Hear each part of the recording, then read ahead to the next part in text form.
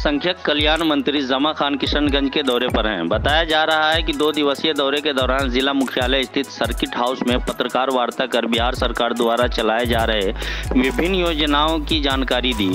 आगे उन्होंने बिहार को बेहतर विकास करने का दावा किया।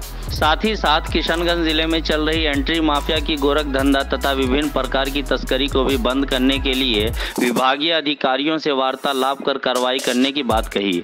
आगे उन्होंने कहा कि मुख्यमंत्री नीतीश कुमार 2024 के चुनाव में प्रधानमंत्री पद के योग्य। चंद लोग ऐसे हैं जो देश और प्रदेश को बर्बाद करना चाहते हैं। कुछ लोग ऐसे लोग हैं जिनसे कोई आज़ादी से लेना देना उस समय भी नहीं था।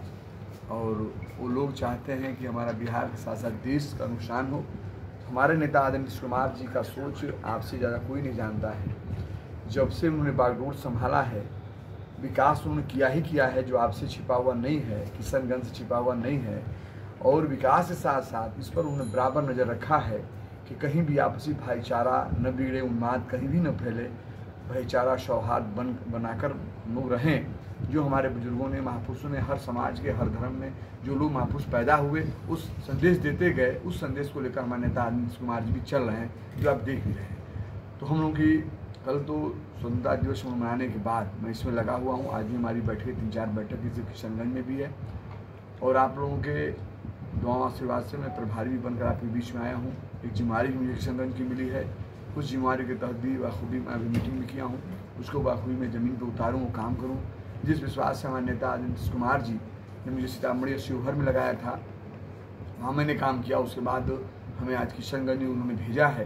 तो मैं आपके द्वारा विश्वास दिलाना चाहता हूँ आम जनता को कि जितना हो सकेगा मैं काम भी करूँगा। जो मेरे अधिकारी हैं, वो भी काम करेंगे।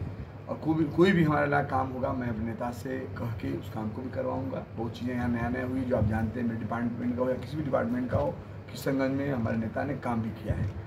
तो यही मेरा ये दूसरा चीज़ है। सबसे बड़ी जो इस समय चौबीस का चुनाव जो आ रहा है, उसको लेकर कुछ लोग ऐसे हैं जो प्रदेश में नुकसान करना चाहते हैं, भाईचारा बिगाड़ना चाहते हैं, जो गंगा जमुना का तजीब का एक अपना इतिहास रहा बिहार के अंदर, जो दुनिया जानती है, बिहार शुरुआत होती है।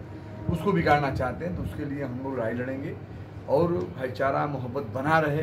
वोट कोई कहाँ देता, उससे हमारा लेना देना नहीं है। हमारे नेता बराबर करते हैं, जिसको वोट देना होगा देगा लोग। लेकिन भाईचारा न बिगड़े। चंद लोग ऐसे हैं जो मंच पे जाते हैं, आप देखे होंगे, मंच पे जाने के बाद कभी विकास की बात नहीं करते। जब उनको सरकार ने जब सत्ता में आना था तो जो उन्होंने वादा किया था, वादा के मुताबिक कुछ भी ज़मीन का दिखाई नहीं देता है। उसका सवाल जवाब नहीं करते, उसका वो जवाब नहीं देते हैं। जनता जब मुझसे पूछती है जो आपने कहा था, काला धन वापस लाएँगे, उसका क्या हुआ? रोज़गार, नौजवान पूछते हैं कि रोज़गार का क्या हुआ? किसान पूछता है कि जो महँगाई बढ़ रही है, उसका क्या हो रहा है? लोग पूछते हैं कि जो 25 लाख आपने कहा था अकाउंट डालेंगे, उसका क्या हुआ? इसका कोई भी जवाब मंच के द्वारा बड़े नेता उनके नहीं देते हैं, जो चंद नेता लोग हैं, जो देश और बिगाड़ना चाहते हैं।